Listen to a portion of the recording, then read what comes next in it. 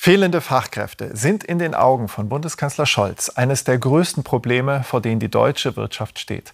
Es sei in den kommenden 10, 20 und vielleicht 30 Jahren eine Hauptaufgabe, alle Möglichkeiten zu nutzen, damit jeder junge Mensch eine gute Berufsausbildung erhalte. Das sagte Scholz gestern Abend bei einer Bürgertour in Thüringen.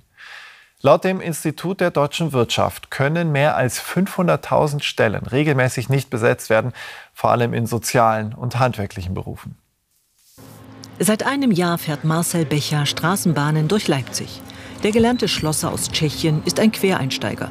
Er spricht Deutsch und hat schnell in Leipzig Arbeit gefunden. Fachkräfte wie ihn suchen die Leipziger Verkehrsbetriebe dringend, aber zu wenige bewerben sich auf offene Stellen. Und das trotz zahlreicher Zusatzangebote wie Kitaplätze oder Sportförderung. Die LVB zum Beispiel suchen 160 äh, Kolleginnen und Kollegen in diesem Jahr. Wir sind ungefähr bei der Hälfte äh, und haben noch nicht im Ansatz das erreicht, was wir uns auch vorgenommen haben, um die Altersabgänge auch auszugleichen.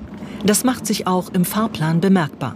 Derzeit fallen 10 Prozent der Busse und Bahnen aus. Auch die S-Bahn ist betroffen.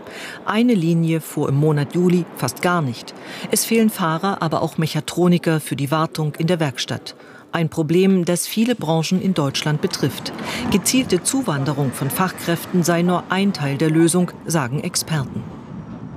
Wir können versuchen, die Beteiligung von Frauen am Arbeitsmarkt zu erhöhen, zum Beispiel. Das ist ein großer Effekt. Wir können auch die Beteiligung von Älteren am Arbeitsmarkt erhöhen.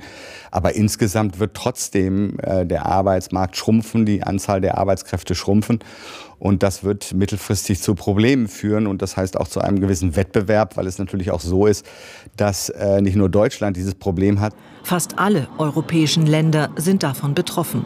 Da sind Zuwanderer wie Marcel Becher stark umworben.